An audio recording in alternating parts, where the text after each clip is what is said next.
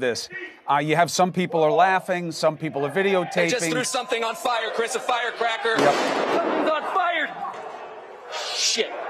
Nick, you all right? You okay? You okay? You okay, guys? You all right? Is everyone okay? You all right, William? Okay, we're okay. Our crew's okay. They just threw a firecracker in on us. That was what was that?